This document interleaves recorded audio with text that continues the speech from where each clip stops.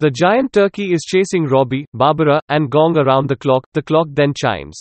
Happy New Year. Happy New Year. Yippee. Hooray. Happy New Year. Gong exclaimed. Robbie, Barbara, and Gong start singing Auld Lang Syne, but then Nori looks at the Chinese New Year calendar, which says the date is January 31, 2014. I don't want in the horse, Nori claimed. Robbie, Barbara, and Gong stop singing. Well, yipe again. Barbara exclaimed. They run away from the giant turkey and get inside the basement door of the yacht. Then the giant turkey gets stuck in front of the yacht. They run away back from the room because of the turkey gets hurt like this. Don't worry about me, it's not that bad, Barbara exclaimed. I won't have it on the yacht, Nori said. They run away and gets inside the bedroom. The giant turkey flying back and gets stuck in the bedroom, then they scream into the room. The giant turkey gets hurt and starts to get dizzy. They run over the turkey and go outside without the turkey.